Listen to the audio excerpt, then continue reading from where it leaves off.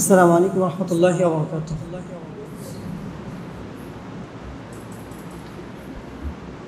আলহামদুলিল্লাহ রবিল আলমিন আল্লাহ নবীনা মোহাম্মদ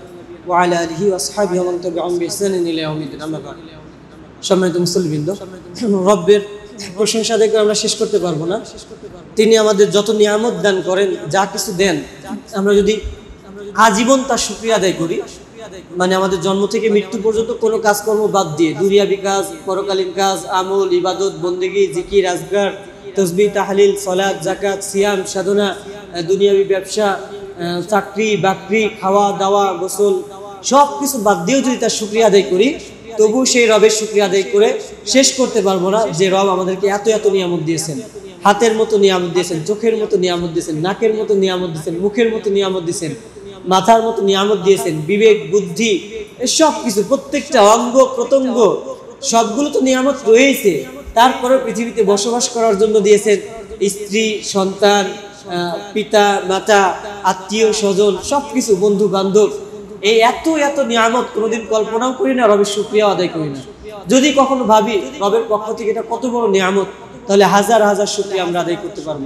রবের শুক্রিয়া আদায় করি, আলহামদুলিল্লাহ।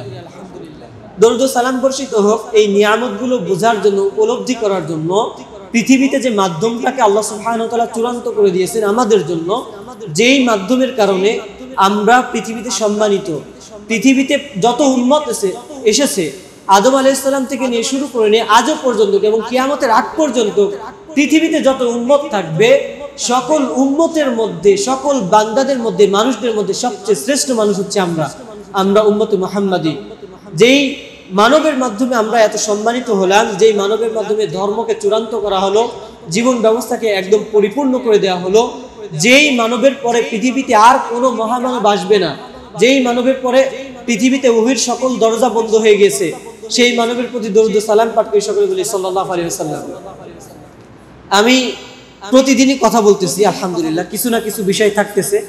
আর চেষ্টা করতেছি আমি নতুনত্ব কিছু দেওয়ার জন্য। যাতে করে আমাদের হয়তো বা সকলের আমি যতটুকু বলব পরিপূর্ণ থেকে যাবে এরকম না। যে আমি বলতেছি, আপনাদের সবার একশো একশো পার্সেন্ট মনে থাকবে, তা না। কিন্তু এমনটা হান্ড্রেড পার্সেন্ট শিওর যে আমি বললে পরে একশোর মধ্যে হলে পরে দশ পার্সেন্টও আপনাদের মনে থাকবে। অথবা পরবর্তীতে যখন এই বিষয়টা আপনার সামনে উপস্থাপন হবে, সেই সময় আপনার মনে হবে যে, ও, না, এটা আগে শুনছিলাম, এটা আগে আমাদের ইমাম সাহেব বলছিল।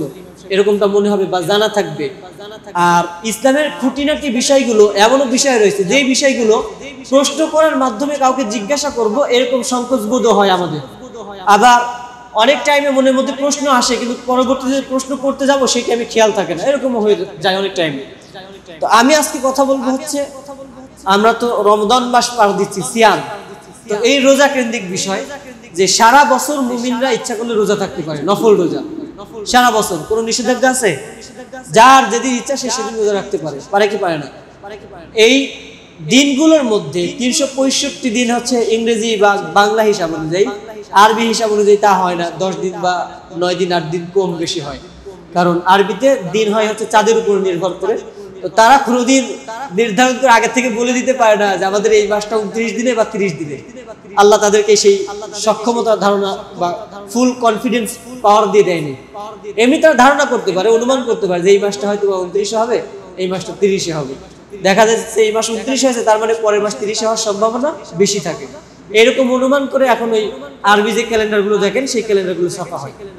তো এই বারোটি মাসের মধ্যে আমাদের রমজান মাস, যেটা হচ্ছে ফরজকৃত সিয়াম রোজারি মাস।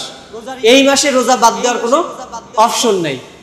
ধনী, গরিব গরিব তারপর হচ্ছে আপনার নারী, পুরুষ, যত শ্রেণির লোক আছে প্রাপ্ত বয়স্ক মানে বুঝ হয়ে গেছে, বুঝ শক্তি এসে গেছে, ইসলামের হুকুম হাকাম ফরজ হয়ে গেছে। এইরকম বয়স্ক ব্যক্তিদের উপরে রমজান মাসের সিয়াম বাদ দেওয়ার কোনো সুযোগ নেই। অসুস্থ, তাও সুযোগ নেই। সফরে রয়েছে, তাও সুযোগ নেই। মানে বাদ দেওয়ার সুযোগ নেই। হয়তো বা এই টাইমে ছাড় পরবর্তীতে আদায় করার সুযোগ আছে। অসুস্থ এখন আদায় করতে পারতেছে না, পরে কাজ আদায় করবে। এমন অসুস্থ কোনোদিন সুস্থতা হওয়ার সম্ভাবনাই নেই। এমন অসুস্থ যে আর কোনোদিন সে কাজ আদায় করতে পারবে না। তারও রোজা কি মাফ? কি করতে হবে? ফিদিয়া দিয়ে দিতে হবে। ফিদিয়ার একটা সিস্টেম রয়েছে। কিন্তু রমজান মাস ব্যতীত এগারোটি মাস, এই এগারোটা মাসের মধ্যে কিছু কিছু সময় রয়েছে, যেই সময়গুলোতে সিয়াম রাখা নিষিদ্ধ। রোজা পালন করা নিষেধ। এখন যদি আপনাদেরকে জিজ্ঞাসা করি, আমার ধারণা আল্লাহ মাফ করুক, হয়তোবা কয়েকজন বলতে পারবেন যে দুই ঈদের রোজা রাখা যাবে তারপর যদি আর কি? তো আজকে একজনকে জিজ্ঞাসা করছি, তো সে বলতেছে যে স্ত্রী নফল রোজা রাখতে পারবে না যদি স্বামী অনুমতি না দেয়। তো তার উত্তর সঠিক, এটাও ঠিক আছে। এই দুটো বাদ দিয়ে যদি কাউকে জিজ্ঞাসা করি, আপনাদের কি আর কারও দ্বিতীয় কোনো পয়েন্ট তৃতীয় কোনো পয়েন্ট জানা আছে? কারোর যে কোনটা জানা থাকলে বলতে পারেন। আচ্ছা মাশাআল্লাহ। তো আমি এগারোটা পয়েন্ট আজকে বলব ইনশাল্লাহ নোট করে নিয়ে আসছি। প্রথম নম্বর যে দুইটা বললাম এটা তো রয়েছে আমাদের মধ্যে। প্রথম নম্বর ঈদের দিনে কোনো ক্রমেই রোজা রাখা যাবে না। যদিও সেটা ফরজের কাজা হয়। মানে ফরজ রোজা ছুটে গেছে এখন আমি তার কাজ আদায় করব। ঈদের দিন রাখা যাবে? সম্ভব নয়। ঈদের দিন রোজা রাখা হারাম। সরাসরি হারাম। এর মধ্যে কোনো অজুহাত বা কোনো মত, কোনো মতানক্ষ, দ্বিমত রয়েছে, এরকম কোনো অপশন নেই। একবার ডাইরেক্ট ঈদের দিনে রোজা রাখা হারাম, সবার জন্য। ছোট, বড়, নারী, পুরুষ, ধনী, গরিব, যার দশ বছরের রোজা কাজা রয়েছে, তার জন্য, যার একদিনের রোজা কাজা রয়েছে, তার জন্য। ফরজ, নফল, সুন্নত, যা কিছু বলেন, সকল সিয়াম রাখাই, রোজা রাখাই ওদিনকে হারাম, দুই ঈদের দিন। এরপরে আয়ামে তাশরিক, যে তিনটা দিন রয়েছে, ঈদুল আজহার পরে মানে কুরবানি ঈদের পরে তিনটা দিন রয়েছে, যেই তিনটা দিনে আল্লাহর জিকির আজগার এবং ওই দিনে পানাহার করার জন্য রসুল সাল্লাহ সাল্লাম আমাদেরকে বলেছেন, ওই তিন দিনে রোজা রাখা নিষিদ্ধ, হারাম। তবে এই জায়গায় একটা শর্ত আবার যোগ করে দেওয়া হয়েছে, হাদিস রয়েছে বা কোরআনের আয়াত রয়েছে, সরাসরি আইন, যে যারা মক্কায় অবস্থানকারী নয়, নন মাক্কা, নন মাক্কি মানে মাক্কি না, যারা হজ করতে গেছে, যাওয়ার পরে হজ পালন করছে, কিন্তু তারা হাদি দিতে পারে নাই মানে কুরবানি দিতে পারে নাই। তারা ওই তিন দিন সিয়াম পালন করবে। এটা ঈদ হিসেবে। ওই তিন দিন সিয়াম পালন করবে এবং ওইখান থেকে চলে আসার পর আরও সাত দিন সিয়াম পালন করবে। এটা তাদের জন্য অনুমোদিত যে ওই তিন দিন তারা সিয়াম থাকতে পারবে। তা ব্যতীত পৃথিবীর অন্য কোনো ব্যক্তিদের অনুমতি নেই। মানে আমাদের জন্য আমরা যারা এখানে রয়েছি তাদের জন্য আমাদের ওই আয়ামে তাশরিক। ঈদুল আজহার পরে কুরবানি ঈদের পরে তিন দিন রোজা রাখা কি? হারাম। রাখা যাবে না। আচ্ছা। এরপরে তিন নম্বর যেটা বলব, শুধুমাত্র জুমার দিন। অনেক বুজুর্গ আছে জুমার দিন এত ফজিলতপূর্ণ দিন, এই দিন আমি রোজা রাখব। আচ্ছা বলেন তো, জুমার দিন কি? সাপ্তাহিক ঈদের দিন না? জুমার দিন সাপ্তাহিক ঈদের দিন। শুধু জুমার দিনে, শুধুমাত্র, কেবল জুমার দিনে রোজা রাখা নিষেধ ধারাবাহিক ভাবে বা এমনিতেই। শুধুমাত্র রোজা দিন, কোনো কারণ নাই। আমার মন চাচ্ছে আমি শুক্রবার দিন রোজা রাখব। এরকম কোনো অপশন নেই, রোজা রাখবেন হয় আগের দিন রাখবেন না পরের দিন রাখবেন। কেন? কারণ জুমার দিনে রোজা রাখার জন্য আল্লাহ নবী সাল্লাম নিষেধ করেছেন। একদে এক সাহাবি, তিনি জুমার দিনে রোজা রাখছেন। রোজা রাখার অবস্থায় রসুলের সামনে এসেছেন রসুল তাকে জিজ্ঞাসা করছেন তুমি কি গতকাল রোজা ছিলে? বলতেছেন না। বলছে, আগামীকাল কি থাকবে? বলতেছে, না। তাহলে তুমি রোজা ভেঙে ফেলো। তার মানে এই হাদিস থেকে আমরা বুঝতে পারতেছি যে শুধুমাত্র জুমার দিনে রোজা রাখা যাবে না। আচ্ছা চার নম্বর, শুধু শনিবার। শুক্রবার তো গেল, জুমাবার তো গেল, জুমাবার রাখা যাবে না।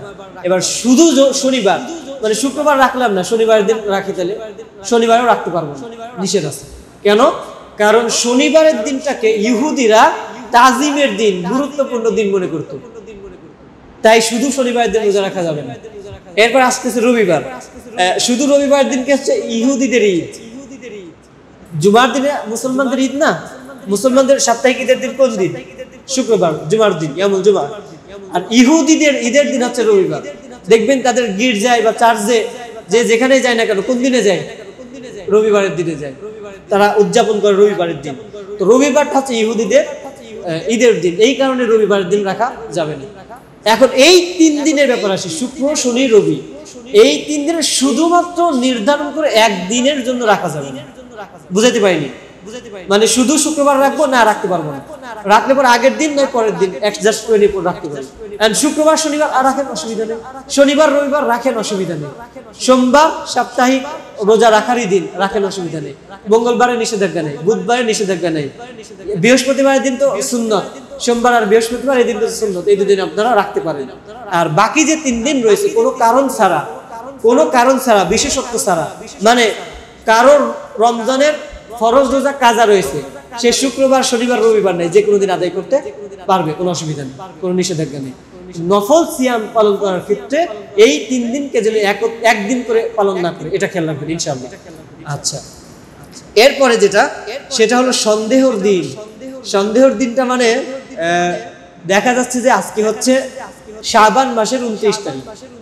শাবান মাসের উনত্রিশ তারিখ এখন চাঁদ দেখা যায় নাই বা আকাশ মেঘাচ্ছন্ন, খুব মেঘ লেগে রয়েছে, দেখতে পাচ্ছি না, আকাশ ঘোলাটে। এখন ওই দিনে আমরা বলতেছি যে আচ্ছা যেহেতু চাঁদ দেখা যায় নাই আমরা একদিন রোজা বেশিই করে ফেলি। যদি রোজা শুরু হয়ে যায়, তাহলে আমরা রোজা রোজা রেখে রাখব, আর যদি শুরু না হয়, তাহলে এমনি নফল রোজা হয়ে যাবে। এই সন্দেহতীত ভাবে বা সন্দেহভাজন ভাবে আমরা ওই দিনকে রোজা রাখলাম। এই রোজা হারাম। যদি কেউ এরকম ভাবে সন্দেহ পোষণ করে রোজা রাখে আর পরের দিন দেখা যাচ্ছে যে আসলেই আগের দিন চাঁদ উঠেছিল। মেঘাচ্ছন্নতার কারণে দেখতে পাইনি। তবুও তাকে ওই একদিনের সিয়াম কাজা আদায় করতে হবে।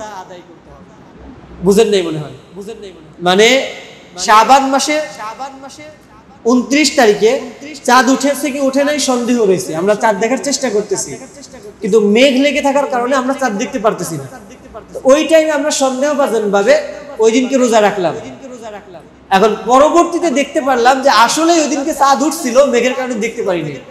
তাহলে রোজা তো আমাদের রমজানের এক তারিখে রাখা হয়েছে না? কিন্তু আপনি রমজানের এক তারিখে রোজা রাখার পরেও চাঁদ স্পষ্টভাবে দেখতে পারেননি, শিওর হননি। এই কারণে আপনাকে একদিনের রোজা কাজা আদায় করতে হবে। ওই দিনের রোজা আপনার রোজা হিসেবে হবে না। সিয়াম হবে না। শরীয়ত হচ্ছে এরকম।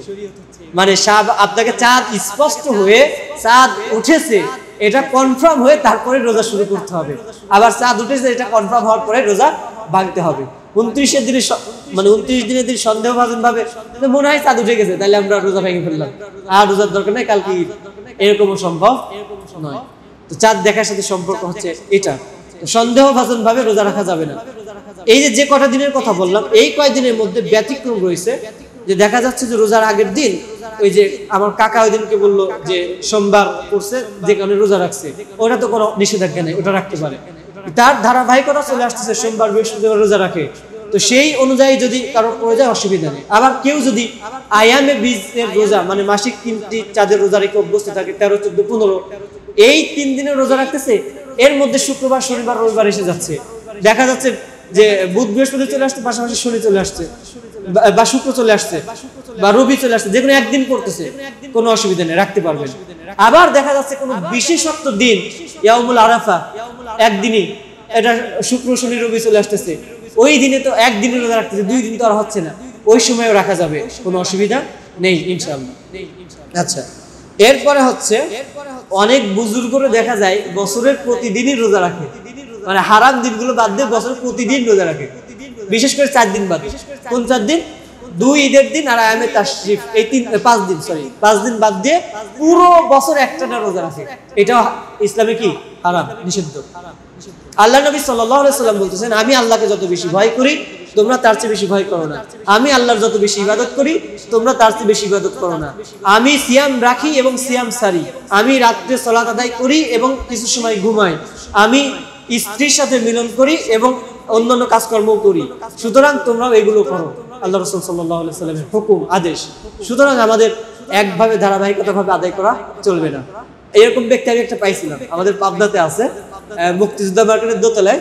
তো সেই ব্যক্তি টেলার্সের পরিচালক আর কি টেলার্সের তিনি মূল কি বলে ওটাকে, দর্জি। তো তার ব্যাপারে শুনলাম যে ওই ব্যক্তি তিনি পাঁচ দিন ব্যতীত প্রতিদিন রোজা রাখে। তো সেই টাইমে আমার একটা আবেগ কাজ করতে আমি ছোট ছিলাম, কেবল ইসলাম সম্পর্কে চর্চা করতেছি। যে আল্লাহ আকবার, পৃথিবীতে এত ভালো মানুষ আছে যে আল্লাহর ইবাদত সারা বছর ধরে রোজা রাখে আচ্ছা আমি তাকে দেখতে যাই দেখতে গেছিলাম, কিন্তু তার সাথে অনাকাঙ্ক্ষিত ভাবে দেখা হয়নি, সে ছিল না দোকানে। তো এই কাজটা কখনোই করবেন না, যত বুজুর্গই হতে যান না কেন, সারা বছর রোজা রাখা যাবে না। আচ্ছা। এরপরে আট নম্বর যেটা সৌমে বিশাল। সৌমে বিশাল, এটা হচ্ছে যে আজকে সেহরি খেলাম, এই সেহরি খাওয়ার পরে আমি আর ইফতারও করলাম না, পরের দিন সেহরিও করলাম না। তার পরের দিন যে ইফতার করলাম, এটা হচ্ছে সৌমে বিশাল যেটা আল্লাহ নবী সাল্লাহ সাল্লাম সরাসরিভাবে কি করছেন? নিষেধ করছেন। এইভাবে রোজা রাখা যাবে না। তবে কেউ যদি সৌমে বিশাল করতে চায়, তার জন্য অনুমতি আছে। আজকে সেহরি খেলাম, ইফতার না খেয়ে আবার পরের দিন সেহরি খাওয়া পর্যন্ত একটানা থাকার যদি তার কষ্ট না হয়ে যায়, সে থাকতে পারবে এটা এটা হচ্ছে সৌমে বিশালের এই এই সুযোগটুকু রয়েছে আমাদের জন্য অনুমতি রয়েছে। কিন্তু কেউ যদি আজকে সেহরি খাইছে এবং ইফতার করবে না সেহরি খাবে না তার পরের দিন যে ইফতার করবে তার জন্য অনুমতি নেই। এটা হারাম হয়ে যাবে। আচ্ছা। এরপর নয় নম্বর ওই যে ওই পয়েন্টটা যে আমার যে ভাই উত্তর দিছিল যে ফরজ সিয়াম ব্যতীত ফরজ সিয়ামের জন্য স্ত্রীর কোনো অনুমতির প্রয়োজন নেই।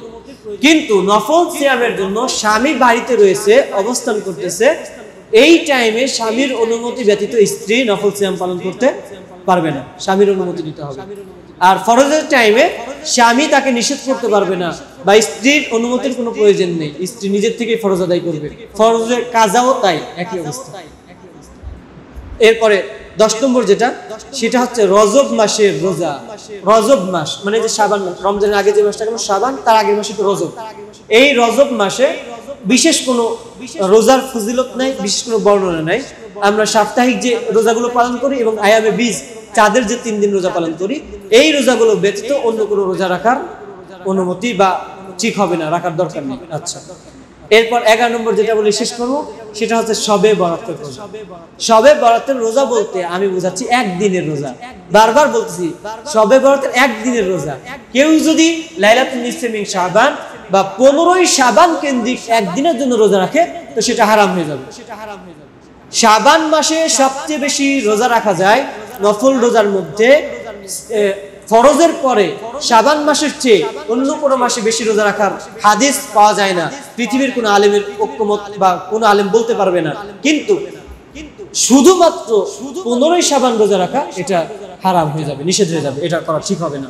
তো যে এগারোটি পয়েন্ট বললাম, রোজার ব্যাপারে আমাদের মানে শুধুমাত্র তাজ দিয়ে দেওয়া হলো কেন?